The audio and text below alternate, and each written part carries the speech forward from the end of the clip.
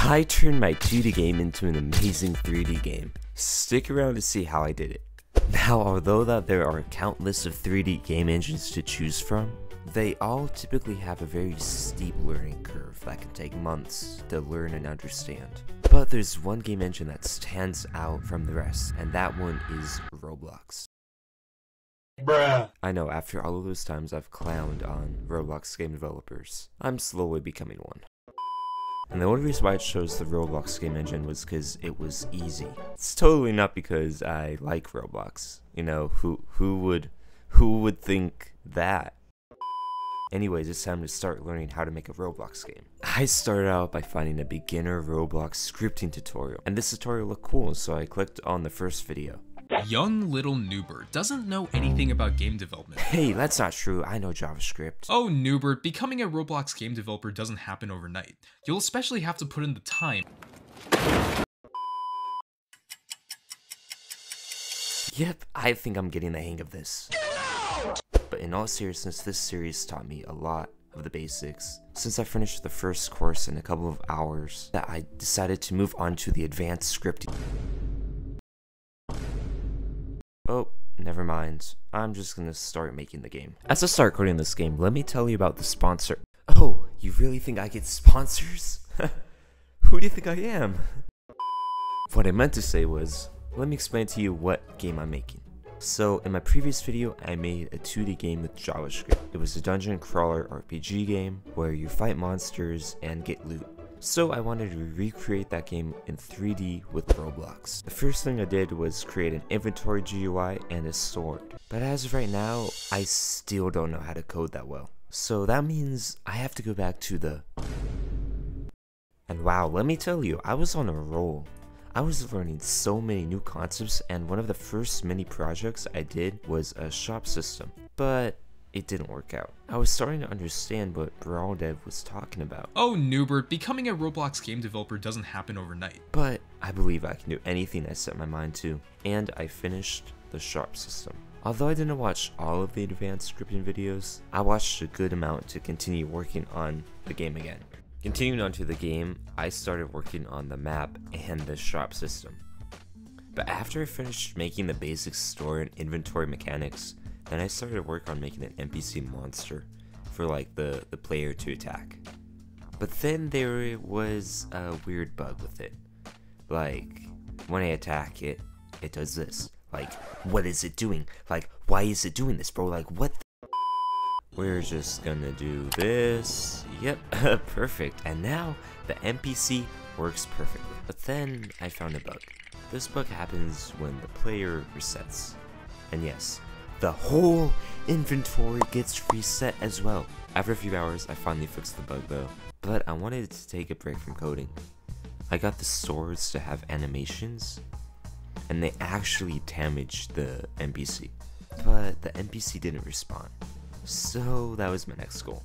Little did I know, I was about to crash out after I found this next bug. Okay, so there's this very weird bug that's going on, alright? So, you, you see me, right? You see me all right? And i and i enter into the dungeon okay? So clearly right clearly i am inside of the dungeon. But oh no why am i down here? But anyways let's go try to kill him right? So let's go attack him all right? So so not only is he dead but he he doesn't respond HumanoidRootPart is not a valid member of workspace.noob what does this mean after a while, I finally fixed the NPC spawning bug. And at this point of me making the game, I realized how horrible this map looks. So I decided that I was going to learn Blender and make some 3D models to improve the map. At first, I wasn't really that good at making them. Bro, what is this? What is this? Eventually, I got better. Oh my gosh, I cooked. And then I made a better map with all of the models I made. Although I had most of the mechanics for the game, there is still one thing that was missing, and that was the armor mechanic. Not only was the armor horrible, but it was very buggy at first.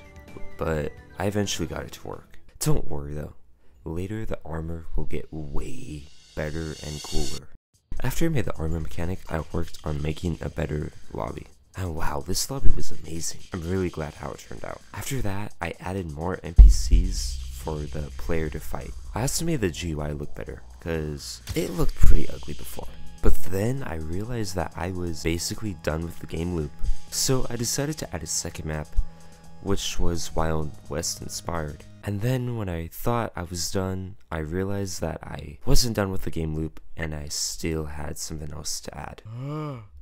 Look at how many scripts I have. I think this game is like basically done. Oh, I still have to add data store. Oh my gosh. For this, I had to go back to the as I coded the data store, I also forgot that I wanted to add a Robux shop because I want money. The final touch, I added a global leaderboard and then I was done with the game. Oh my gosh, guys. The game is actually done. Anyways, now that I'm done making the game, it is time to release and publish the game and show people what I've made. Hold up, hold up. Publish the game? To who? Who's gonna play it, dude? Which is why I'm just gonna show two of my friends the game that I've made. And I know, I know what you're saying. Bro is really making another video with his friend. And look, if you want me to stop using him for content, maybe you should join my Discord server in the description. And maybe, just maybe, you can be in the next video. So yeah, if you want to be in a future video, then you should join the Discord server. Anyways, now it's time to show my first friend. Are you ready to to play the game? I'm so ready. Am I gonna be playing by myself? Stop hitting me. Anyways, Yo, this place is actually very well decorated. thank you, thank you. It, took it took me it took me a long time to to make. We do not care. Your useless teammate. Who said that we were teammates? I don't want to be teammates with you. I thought we were too. I died. It's it's like a it's like a 3D version uh, of the 2D game. I got you, bro. You, you can't attack them though. I'll find a way. I'll beat that guy over there easily. Bro is not beating him easily. Oh my gosh, just no, no, no, no. We have such a skill issue. Oh, this armor is so cool. Look at me, I'm so much cooler than you right now. You're look. You look so dumb. I look so cool right now. Oh yeah, also my friend said that I have like a YouTuber voice. Is that true? We, we do have a YouTuber voice. I don't know if that's a good thing or, or a bad thing. what is up, guys? It's your boy, Junior Codes, here with another video. Try saying that. What is up, guys? Anyways, that is it for this video. The rest of the of the gameplay was pretty boring. So yep, go play the game. Link in the description. And yeah, I'm gonna go freaking do something with my life.